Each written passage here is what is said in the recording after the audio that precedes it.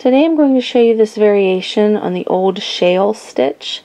This differs from the one that I did a few years ago in that it does not have the purl bumps running across the front of the fabric. This one is just nice and smooth. I will put a link for the first old shale video in the description below so you can check that out. This is a four row repeat worked on a multiple of 12.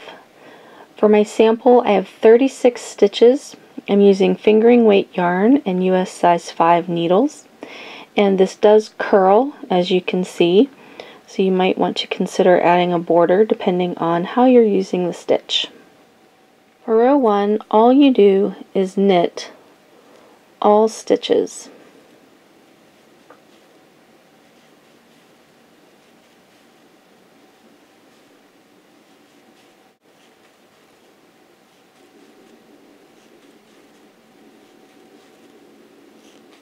Row 2, you just purl all stitches.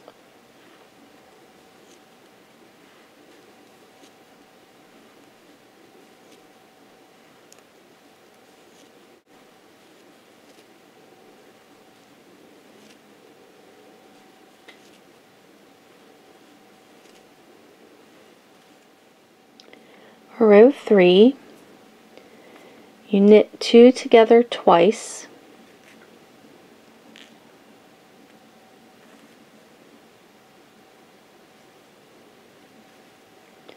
And then you're going to yarn over, knit one four times.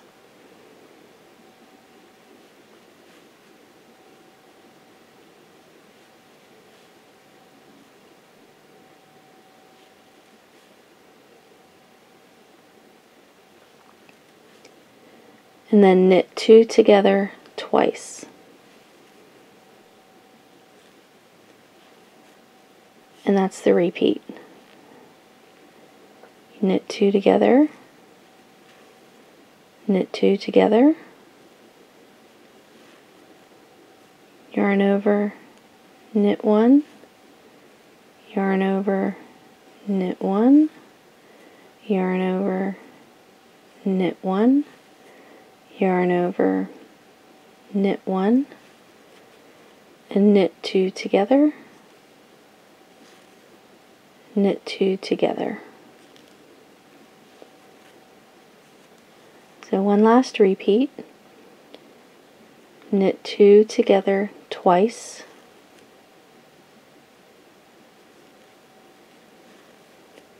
Yarn over, knit one four times.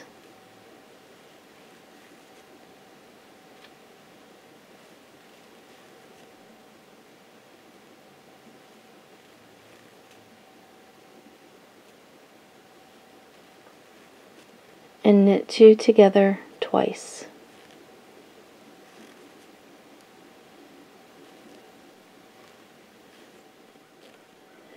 In row 4, you're just going to purl all stitches.